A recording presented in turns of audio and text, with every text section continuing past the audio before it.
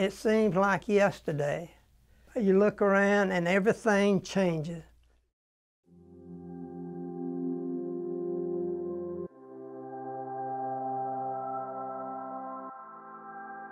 Name is Reed Tillis, Jr. Class of 1953. The city of Jacksonville, along the east coast of Florida, only 25 miles from the Georgia border. Jacksonville is a city with a very rich history and thriving industry and its own unique personality. I've lived here all my life. I moved here when I was about five, five years old, and that was probably 19 mid 30s. During the early 20th century, Jacksonville became a banking and insurance center which created a booming business district. The U.S. Navy and the U.S. Marine Corps established a presence in Jacksonville during those early years. I thought when you grew up, you either went to work for Merrill Stevens or went in the Navy. That was just what people did. Jacksonville, Florida has become the nation's largest city due to its enormous geographic footprint, but it wasn't always that way. The milk was delivered by a horse and, and a carriage. That didn't last too long. Uh, Jacksonville is a wonderful city. Many families from all over America moved to Jacksonville after the Great Depression to find work at the shipyards. Well, both were a way of life because Jacksonville, one of the industries was the shipyard. I can remember taking my dad to the shipyard riding a bicycle. I'd be on the handlebars and he'd be pedaling. Until 1926, students in Jacksonville had attended Duval High School, but the increase in population created the need for more space and more classrooms. Duval High was replaced by three new schools Lee, Jackson, and Landon.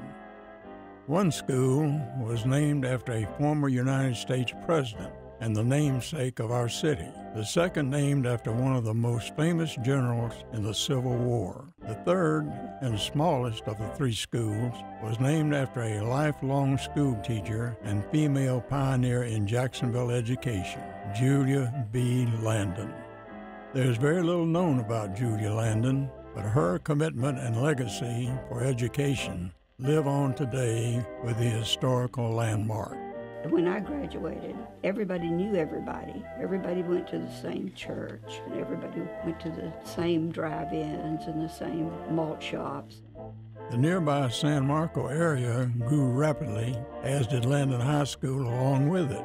The San Marco district, its movie theater, shops, and opportunities helped Landon truly become this community's high school you would spend the day Saturday at San Marco Theater because there were two movies and newsreels, and you spent the whole day for nine cents.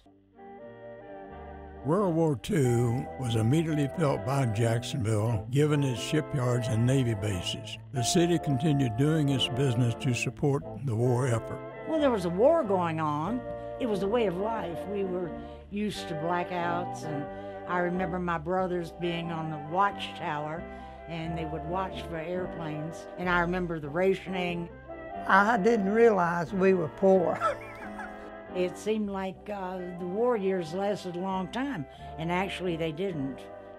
After World War II, the city grew rapidly, and with this peacetime came a vibrance not only for Jacksonville, but for the entire United States. Music, dancing, cars, and freedom. It was, it was just uh, an exciting time to be in Jacksonville, there were only three high schools.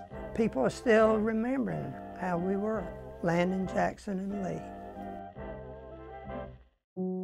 Landon High School opened its doors to its first class in the fall of 1927. Landon was just a, a, a way of life.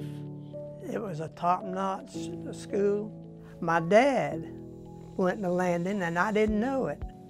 But it was it was fun going to Landon. I went through the Landon all the way from the seventh through the twelfth grade, and I walked to Landon every day too during that time. While I was at Landon, we did not have electricity. I made good grades, so it must not have impeded me too much.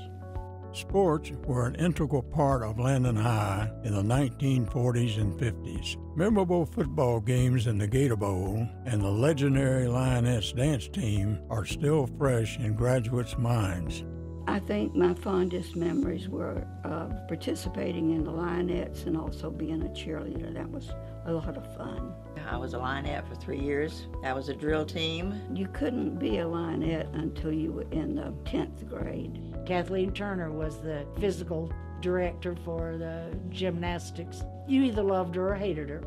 She was just real down to earth person, but she she was strict. All my friends from the Lionettes, there was over 160 girls. We were known all over the state, which we performed at all the Landon games in the Gator Bowl. Oh, that was fun.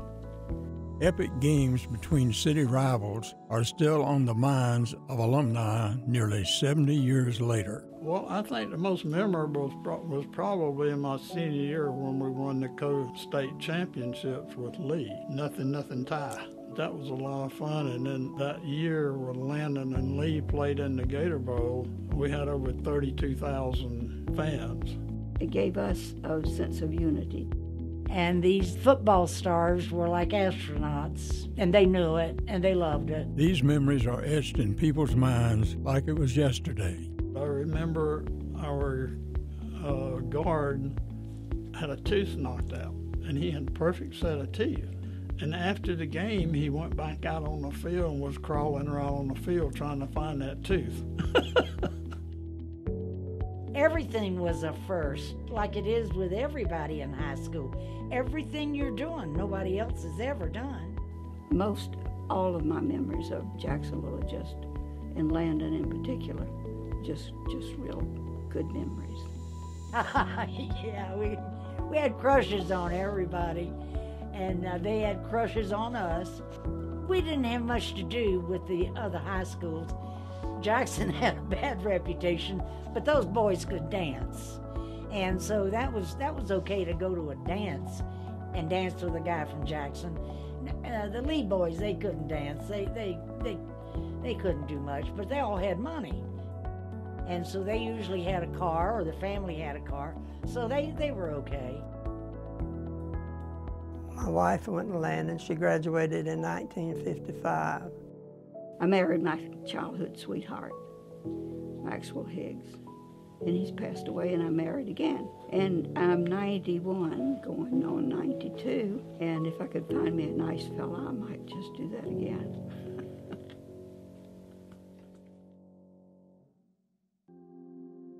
Landon High closed its doors as a high school in 1965 and reopened as a middle school. My name is Gil Whitaker. I attended Landon Junior High School from 1965 to 1967. This was after Landon had changed over from a full-time high school, uh, which was 7th through 12th grade, I believe. They changed it strictly to a junior high school. San Marco was, was aging. We had two new high schools opening up. Out of necessity, they, they moved it to a junior high school. And as I was at Landon, when I was there, I had a lot of the same teachers my parents had. Uh, Ed and Joyce Whitaker are my parents, graduates from Landon in 47 and 48, I believe. I've heard stories since I was a little kid about Landon High School, and I've had their friends and, and their friends' families all around me uh, all my life. Uh, Dad uh, played sports. He was, a, he was a three-sport athlete. Mom was a cheerleader and a lionette, so they were. I think Dad was class president in his senior year. They were all uh, inter both integrally involved in, in Landon at the time.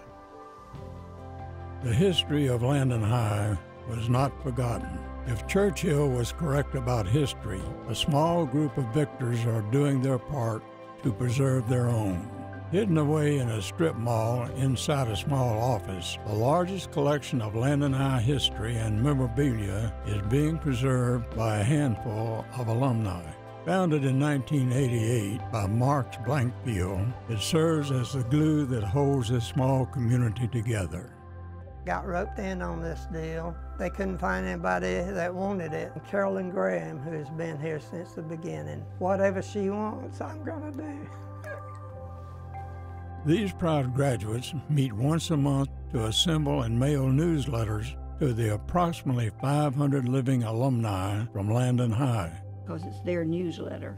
Uh, we just put it together and send it out. It's been a wonderful thing for me to be involved in this. I feel like it keeps me uh, up to date with a lot of the graduates. It's a fun thing to have.